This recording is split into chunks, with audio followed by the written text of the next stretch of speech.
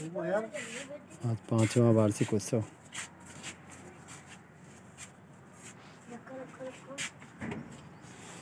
मनाया गया अभी अभी। श्री राम साधना आणक का भूमि पूजन 29 फरवरी 2020 को इक्यावन कुंडी गायत्री महायज्ञ के साथ संपन्न हुआ था।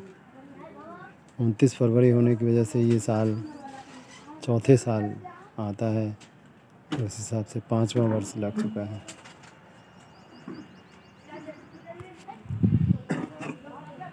हे माँ